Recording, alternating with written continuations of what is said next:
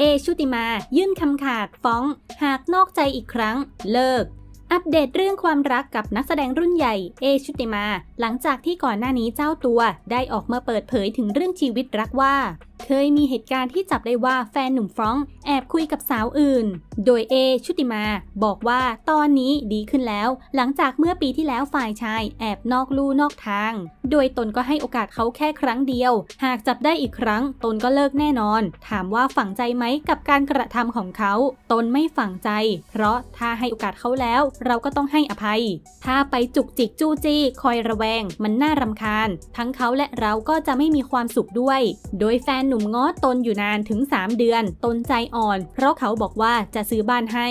พอมาอยู่แบบนี้เขาก็เริ่มโตขึ้น รู้สึกถึงความเป็นครอบครัวมากขึ้น